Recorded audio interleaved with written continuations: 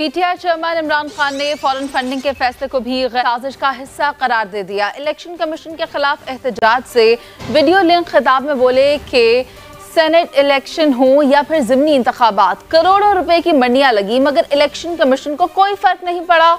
इमरान खान ने इल्ज़ाम लगाया कि तहरीक इंसाफ के खिलाफ फंडिंग का फैसला सिर्फ़ ड्रामेबाजी है ताकि मुल्क गुलाम रहे।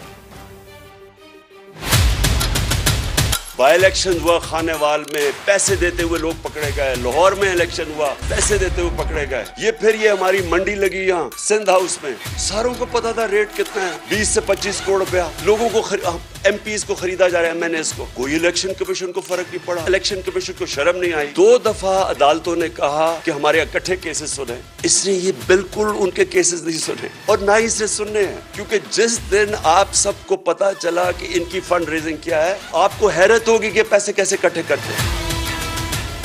चौबीस अरब रुपए के इनके ऊपर करप्शन के केसेस थे। यही इलेक्शन कमीशन थी। अंडर ट्रायल थे दोनों। इस इलेक्शन कमीशन को शर्म नहीं आई।